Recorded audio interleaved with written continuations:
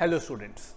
Today we are going to discuss about one of the very important topics of science that is electricity. I hope we are all aware that there are so many applications to electricity. Let us consider the room in which you are sitting right now. It consists of a fan, it consists of some tube lights, maybe in your home you have an electric iron. All these appliances, all these devices, they require electricity to work. Let's say I switch the button on and the bulb present in your room starts providing you light energy. With the same type of switch, when you press it on, you can get heat energy from an electric iron. So that means the output of this is heat energy or light energy and we know that only some form of energy can be converted to some another. And so we can conclude that electricity is actually a form of energy. Now if electricity is a form of energy, then how can we obtain this form of energy? Well, there are several such questions which we are going to answer in the course of this particular video. The first thing we need to understand are the three main concepts related to electricity that is the concept of current, the concept of potential difference and the concept of resistance. So, we will begin with the concept of current. Now, to understand the concept of current, let us consider a metallic conductor. Now, a metallic conductor is supposed to have large number of free electrons. So, if this is a metallic conductor, inside this there will be large number of free electrons. Now, there are certain things about a free electrons which you are expected to know that is a conductor which is having large number of free electrons will always have them in a state of random motion. That means all these electrons will always be in a state of random motion. So, as of now, we will consider the ends of the rod as A and B.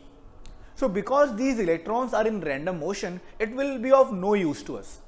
But now, if you want to obtain current, our idea should be to ensure that all these electrons start to flow in one particular direction.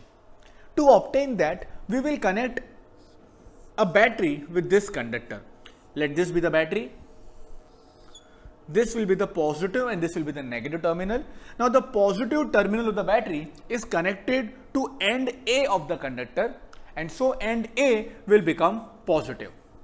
The negative terminal of the battery is connected to end B and so B will become negative. Now as you see positive and negative terminals are there at the ends of the conductor. So A and B will now start attracting or repelling the electrons. So the positive end A and the negative electrons will have a force of attraction between them and so these electrons will be attracted towards point A. Similarly, if you talk about end B, the negative terminal and the negative electrons will have a force of repulsion between them and so point B will repel the electrons. So here we can clearly see that the electrons are going to go from the negative terminal to the positive terminal. This will cause the flow of electrons in one particular direction. All these electrons consist charge inside them and because electrons are negatively charged, the charge will then start to flow. This flow of charge inside a metallic conductor is what we call as electric current. So that means there will be a current which will be produced in the conductor which is obtained due to the unidirectional flow of electrons or you can say the charge present inside it. Now that we know the concept of current, let us try to understand the formula and the unit of electric current. So as far as the formula is concerned, current is always equal to charge upon time. As we understood that electrons start flowing through the conductor in one direction which constitutes the flow of charge. And the flow of charge happens in a unit time. And so charge upon time is what we call as current. Now, as far as the units are concerned, charge is always measured in a unit called as coulomb. Whereas time is always measured in a unit called as second. Now we know coulomb is denoted by the letter capital C, seconds is denoted by the letter small s and so ideally the unit of current should be coulomb per second. However, on the name of the scientist Andre Marie Ampere, the unit of current is considered to be ampere denoted by the letter capital A. So that means the SI unit of electric current is called as ampere. Now remember in physics, whenever you come across a new unit, you will have to define that as well. So even here, we need to define what is 1 ampere. So to understand the definition of 1 ampere, let us take into consideration the same thing that we have done. Just consider that we have a charge flowing through a conductor and the magnitude of the charge is 1 coulomb. Let us assume that this charge flows for a time of 1 second and I think we know that 1 upon 1 will always give you 1. So that means if a charge of 1 coulomb flows through a conductor for a time of 1 second, then the current is said to be 1 ampere. So we can just formulate this into a proper statement. So the statement for the definition of 1 ampere is as follows. If a charge of 1 coulomb flows through the conductor in 1 second, then the current flowing through the conductor is said to be 1 ampere. Now, as far as the units of current are concerned, there are some other convenient units as well. The other convenient units are as follows. 1 ampere can be expressed in terms of milliampere as well. So, we say that 1 ampere is 10 raised to 3 milliampere. Now, along with milliampere, the other smaller units are microampere and nanoampere. So, 1 ampere can be expressed as 10 raised to 6 microampere and we can say that 1 ampere can also be expressed as 10 raised to 9 nanoampere.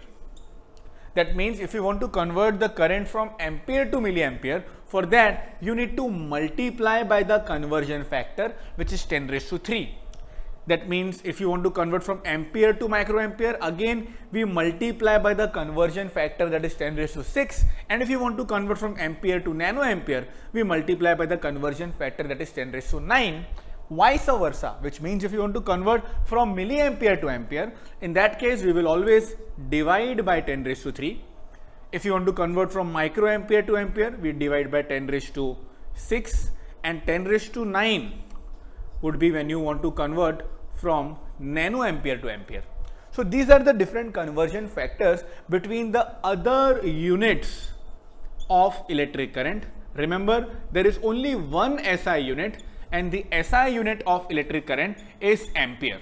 The other units that we have are milliampere, microampere and nanoampere with these being the conversion factors. Well now we will focus upon another very important concept out here that is the direction of electrons and the direction of current. Now you would imagine why are we considering the two as separate?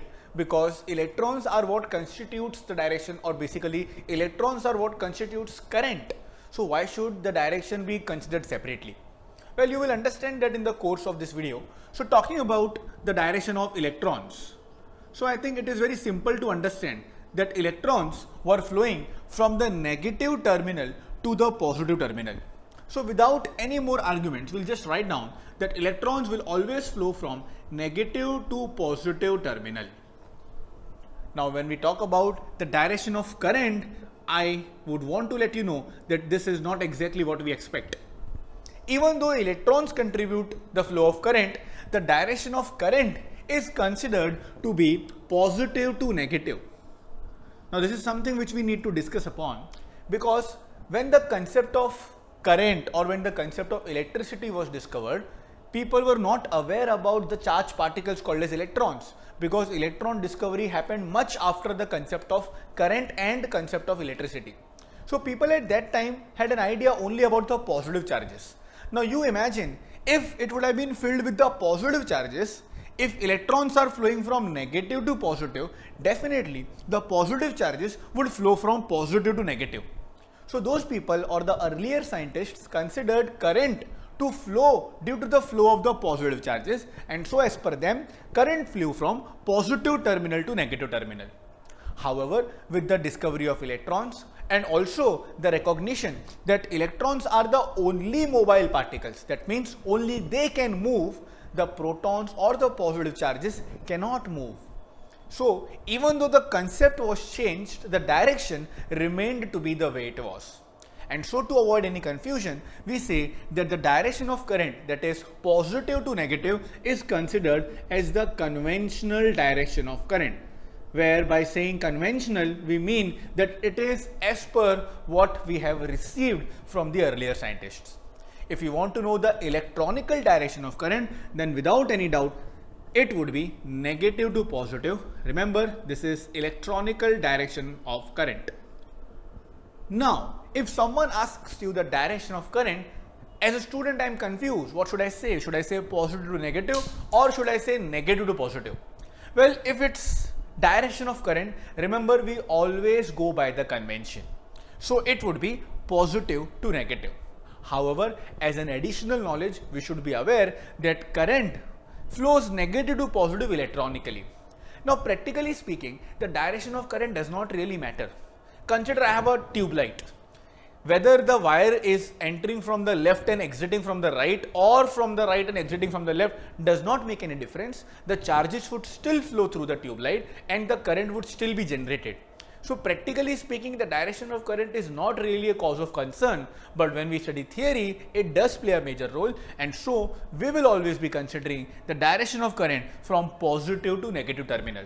So that means in the circuit as well, we will be denoting the current with the help of arrows starting from positive and ending on the negative terminal. So let's say this is the arrow for current. As we know, current is denoted by the letter I. The current would then go here, current will be denoted by the letter I. Then it will enter the conductor, exit from here, denoted by the letter I. And ultimately, current comes back to the negative terminal of the battery. So this is how we represent current in a circuit.